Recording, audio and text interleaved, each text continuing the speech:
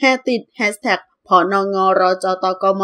พุ่งติดเทรนด์หลังบิ๊กตู่เสนอวิธีแก้ปัญหาสุดเริ่ดเรียกได้ว่าสถานการณ์เมืองไทยปัจจุบันนั้นดูไม่ค่อยสู้ดีนัก ทั้งปัญหาเรื่องโรคระบาดวัคซีนโควิด ที่การจัดการยังไม่เป็นที่พอใจของประชาชน หรือจะเป็นปัญหาด้านเศรษฐกิจ สินค้าบางอย่างราคาพุ่งสูง หรือไม่ก็ตกต่ำอย่างที่ไม่เคยเป็นมาก่อน เช่น ผักมีราคาแพง กิโลกรัมละหลายร้อยบาทข้าวที่มีราคากิโลกรัมละ 5 บาท โดยตลอดระยะเวลาการดำรงตำแหน่งของรัฐมนตรีอย่างพลเอกประยุทธ์จันโอชา ท่านได้นำเสนอวิสัยทัศน์การแก้ปัญหามาแล้วมากมาย เช่น แนะให้ปลูกมะนาวกินเอง แก้ปัญหามะนาวแพง หรือปลูกมามุ้ยแทนข้าว แก้ปัญหาหน้าแล้ง หรือแนะชาวสวนยาง ปลูกผักผลไม้ชนิดอื่น แก้ปัญหาราคายางตกต่ำอย่างกรณีล่าสุด ผักที่มีราคาพุ่งแรงแพงกว่าเนื้อสัตว์ โดยเฉพาะผักชีที่มีราคาสูง กิโลกรัมละ 400 บาท เป็นผลจากสถานการณ์น้ำท่วม โดยพลเอกประยุทธ์ได้เสนอวิธีแก้ปัญหาดังกล่าวด้วยการสั่งให้นำผัก โดยเฉพาะพริกและผักชี